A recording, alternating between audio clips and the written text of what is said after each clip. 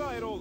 Ünlü futbolcu Mehmet Topal'la birlikte otizmli çocuklara destek olan hanımefendi duygularını şu şekilde özetliyor. Otizm Vakfı'nın bundan sonraki benim e, hayatımdaki ve Mehmet'in hayatındaki e, hayatındaki yeri çok farklı olacak. Ve biz her zaman elimizden gelen desteği vereceğiz. Ben bunu kendi adıma söz veriyorum. İkili daha sonra otizmli çocuklarla oyunlar oynayıp onlarla yakından ilgileniyor.